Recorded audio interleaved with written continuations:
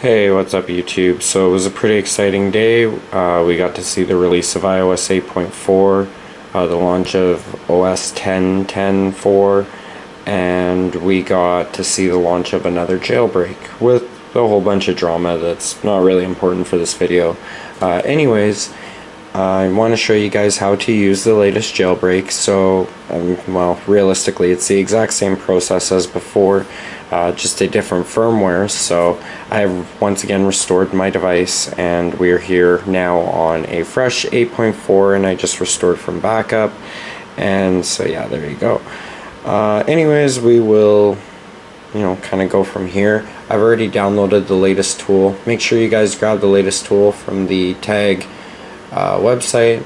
Uh, that's the version 2.20. Once you have it, make sure you unzip it. Uh, you need to unzip the tool, drag it either to your desktop or to a downloads location, and then open the tool here so it will go through its entire check.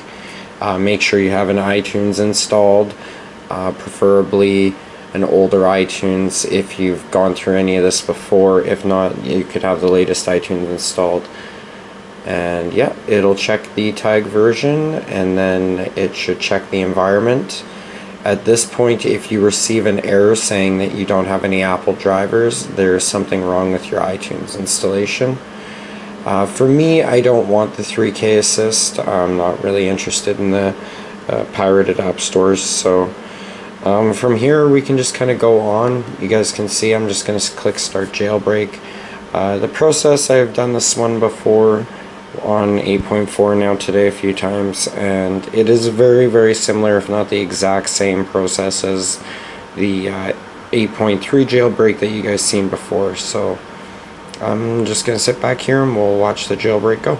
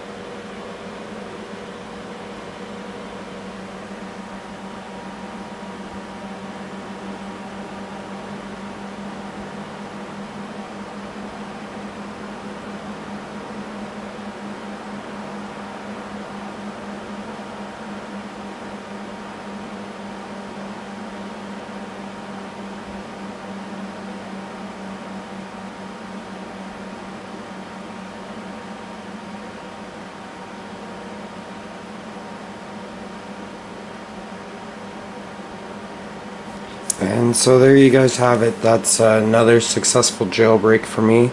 Uh, I really haven't had many issues, if any at all, using the tools, although I know a lot of people have.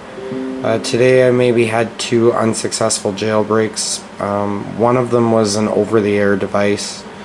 The other one was a questionable device. So um, what you guys maybe need to do is kind of start from the beginning like I've said in my previous tutorials. Remove the iTunes and all the Apple software from your Windows. Download and start a new um, a new download of the TaiG tool and just kind of refresh from there. But uh, I'm successfully jailbroken once again on 8.4 and that is another happy jailbreak. Uh, thanks for watching guys, rate, comment, subscribe, and we'll see you again next time. Cheers.